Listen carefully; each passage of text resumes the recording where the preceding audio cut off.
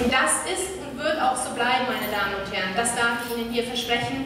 Und ich glaube, ähm, dieser volle Saal gibt uns absolut recht, dass wir hier uns als FDP, als Liberale für ein Europa, für ein gemeinsames Europa einsetzen und die Integration voranbringen. Auch an dieser Stelle ganz herzlich gegrüßt sei der Fraktionsvorsitzende der Stadtratsfraktion in München, Michael Matar, denn auch die Zusammenarbeit mit den Kommunen ist extrem wichtig. Gerade dort wird oft umgesetzt, was wir in Brüssel beschlossen haben. Und deswegen ist die Zusammenarbeit gerade auf dieser Ebene zwischen Kommune und Europäischem Parlament so elementar wichtig.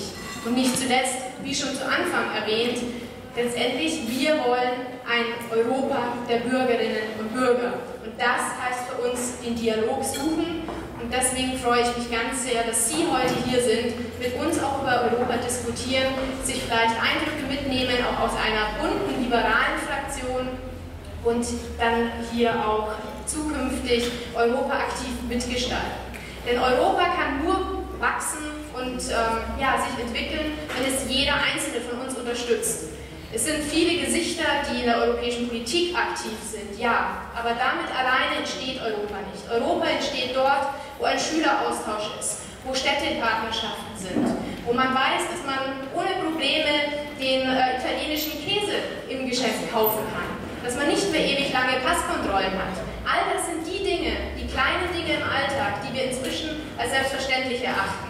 Aber das ist Europa und genau hier wollen wir ansetzen und es weiterentwickeln. Denn wir wissen auch, natürlich haben wir Probleme und natürlich gibt es Fehler. Aber das ist die Aufgabe der Politik, diese Korrekturen vorzunehmen.